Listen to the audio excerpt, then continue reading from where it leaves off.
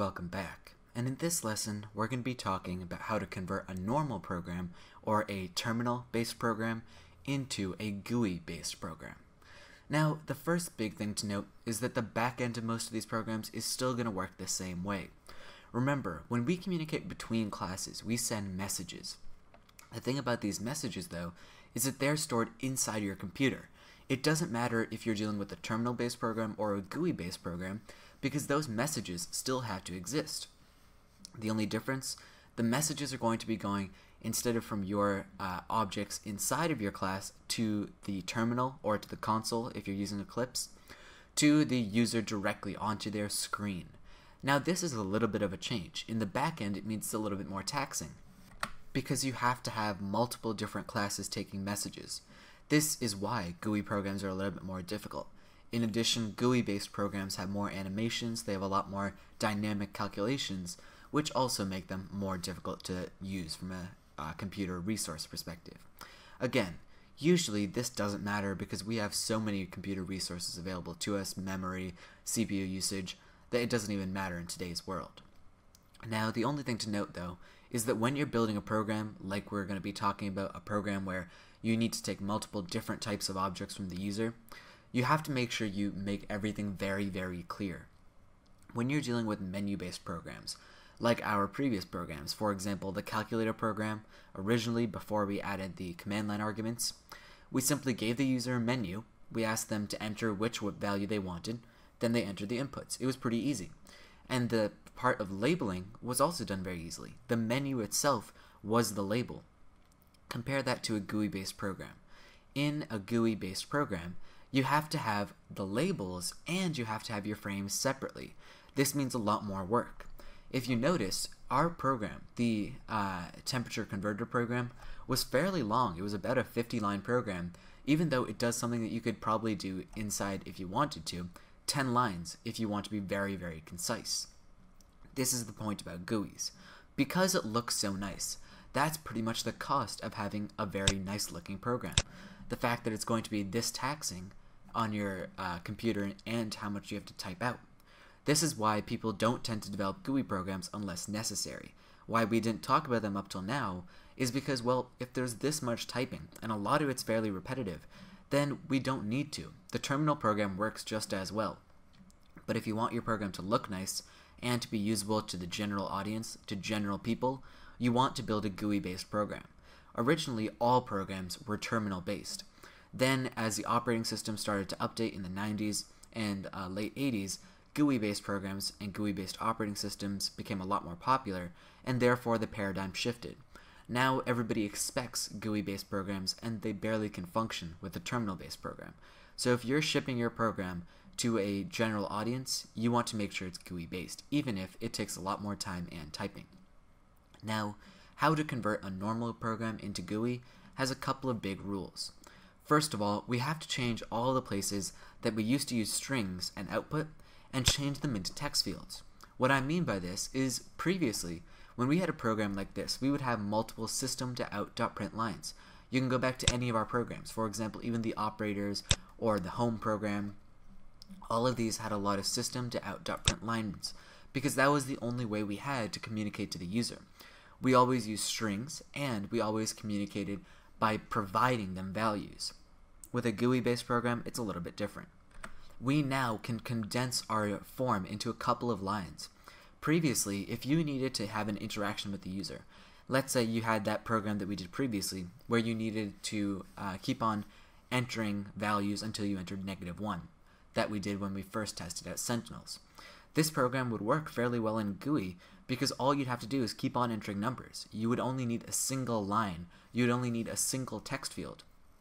Whereas when we built it inside of a terminal-based program, it was going to be fairly long. Loops, therefore, become a little bit less useful. Previously, when we had to keep on outputting values, we needed loops. Now, we don't really need loops because every single time they hit a button, it'll automatically refresh and it'll automatically take those new values. So make sure that all the places that we used to output a string, we now, instead of saying system to out.println, we create text fields or text areas, and then we would say uh, set text and get text. Another rule is that if you need to take the value from a uh, field and you need to add to it, that's a very, very important step. Remember, the set text method standard, uh, the standard version of that, will simply wipe out the old version. But many times we need to build a program where we take the old value and then we add to it. Let's say you wanted to create a program where you kept on adding to a running list of the user's values. Well, to do this, it's a little bit complicated using a GUI because, well, your old version with the terminal would just, you keep on entering the values and it would store them in an array. With the GUI-based version, if you want to keep on updating the list to the user, you have to make sure you say get the text, then create a new string, add your old string, what used to be there, to what you want to be there now, and then set that to the new value. So you basically have to extract the old value and then just copy that into the new value so that it can build a running list. It's very difficult to build running lists with GUIs, so if you can avoid it, please do because it's very taxing and it's a little bit repetitive to keep on saying get text, add to a string, and then set text. But there's a lot of scenarios where you need to, as you'll see later on, and in these scenarios, there's no harm in just making sure you follow that rule. If you forget to, though, it's similar to if you forget to have the plus equals on an extended assignment operator. You'll still have a valid result. It'll still give you a string. The only difference is that string won't be building the entire time. It'll instead create itself once and then keep on uh, updating that value, which means instead of having a running list, you have the final value, which probably ruins the point of the program. Now, when we built our program, the Fahrenheit tester and the uh, converter program, it was pretty easy because all we needed to do was we needed to take the value and we could keep on pressing these buttons. But let's say you wanted to hide some of the buttons. This is where the set visible becomes very important, and if you wanted to make something unchangeable, the set editable. Now the set visible is probably the more powerful of the two. Let's say you had to build a program where you needed to first create a GUI, they had to press a button, for example they could press convert to Celsius, then you need to create a new screen, a new set of uh, print, a new set of outputs. So some new buttons, some new strings, everything like that. And you need to get rid of all this stuff. Now with the GUI, you actually can't simply get rid of stuff. It doesn't work that way. So you would have to hide the old values. What this means is that you would have to take this button. You would have to say whatever we called it. In this case, uh, we called it convert1. You would have to say, for example, convert1 dot set visible, and then you would say false. Now what would this do? It would simply change your button and now hide it. Let's try this out. So if we run our program again, you'll notice we put it inside the button clicked. So initially, it's going to be fine. But then, if we press convert to Celsius, you'll notice the button disappears. And you'll notice it shifted a little bit. The button is part of what defines the columns. If the button is no longer there, then the center of the uh, of that area of that column no longer has to be there either, and it'll start to shift. In addition, sometimes when you are hiding these buttons, you want to make them appear again. This is where you'd use the set visible to true. Remember, the default place for a button and for most of these objects is going to be true. Most of the time, you want to be able to see the button. So saying set visible to true is only going to be needed if you're taking if you made it invisible before. This visible and invisible isn't like how you might think of it. It's not like if they accidentally click in the wrong place, they'll still be able to click on the button. Making it invisible makes it impossible to reach. Even if you're using a computer and perfectly nail the location, it's impossible. It just doesn't exist anymore. It's been hidden from the user. To make it usable again, you'd have to say set visible to true. The same thing happens with the set editable. The set editable just says, can we change this value now? So for example, if we took one of our text fields, let's say we wanted to take the Celsius text field, we could say Celsius dot set uh, editable, and you'll notice that now it, we have a method here, and it's a valid method call, so we can say false. Now the only thing that this will do is it says, well, the value, the field will still be there. So if we run the program and we uh, decide to let's say enter in 15 or 0.15 and then we hit convert to Celsius, it works fine. But now you'll notice that the Celsius field has been hidden. This means that we can see it. It's there and we can still access it. We can still read it, but we can't change it. The important thing to note here that not being able to change it doesn't mean your program can't change it. When you say set editable, that means that the user can't change it. That means that when I open the GUI, I won't be able to change that value. On the other hand, your program itself can still change the value. For example, I can still say set text on Celsius, or I could still say uh, get text. It's not like it's been completely eliminated, it's just that now the user can't change that value. Now you might be saying, well, what's the point of this? We already have labels. If we need to have a value that you shouldn't be able to change, that's what a label is. Labels can never be changed by the user as a rule. Well, this type of uh, value is very useful because, well, first of all, it's useful if you have a JText area. A text area, if you recall, is a much bigger form of a text field, multiple lines long. The only thing to note is that many times you need to display a lot of text. Let's say you were generating 100 random characters and you needed to output all of them. Well, you don't want the user to be able to change those values because they're random, that's the point.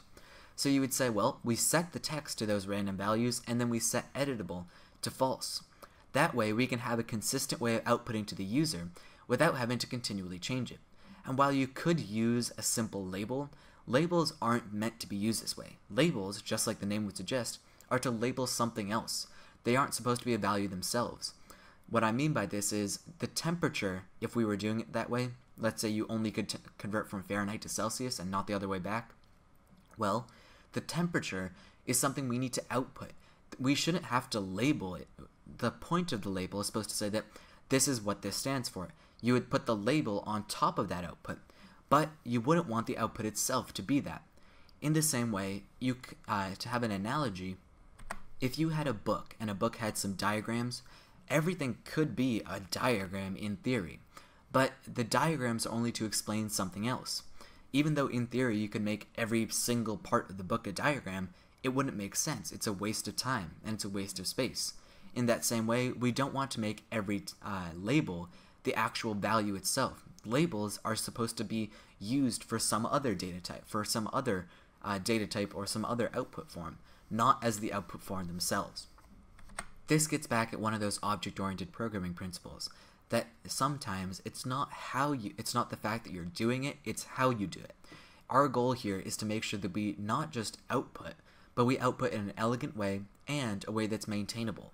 Labels are much harder to maintain than simple text fields, so if you have to continually output something, and it's a way you tell the user, it's your way of communicating back to the user, make a text field don't make a label. In addition, never terminate your program unless the user chooses to close the program. This is a big difference. When we built our normal terminal-based programs, we always terminated automatically. It was assumed that they only need one run. If we needed to let them have as many runs as they wanted, we built a do-while loop around the entire program. When we're dealing with GUIs, it's the opposite way around. We assume that they want to keep going forever. This means you should build your program in such a way that it's easily maintainable, that it easily scales up. You don't want your program, for example, to be taking a hard value and then setting everything to non-editable and uh, invisible.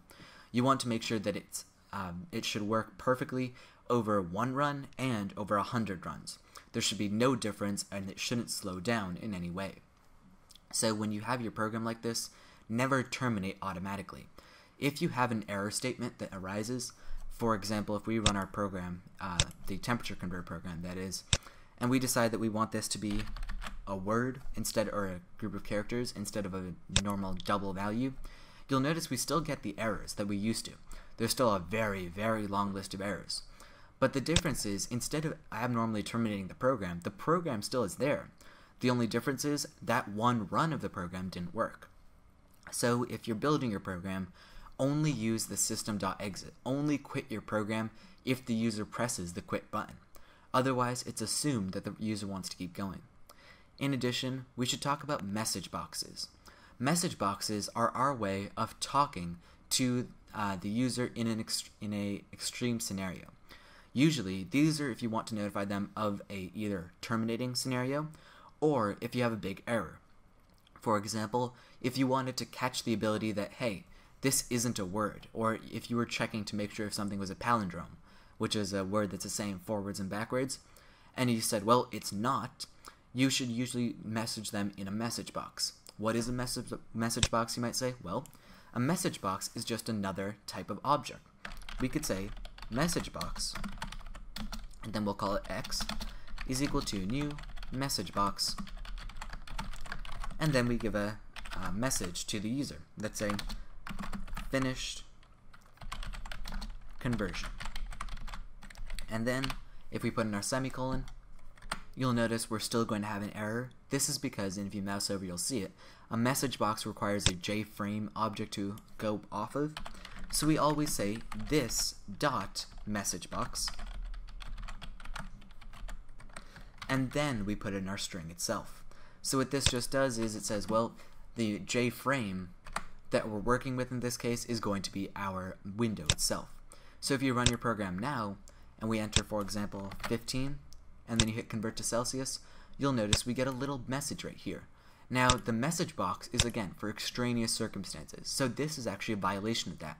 You would want to use them if you have an error scenario, or if the user entered something that should terminate the program, but you want to inform them before you stop it. For example, if they had won a game of cards, or if you were making a program that modeled poker and one person had won, you would give them a message box to indicate that the game has ended.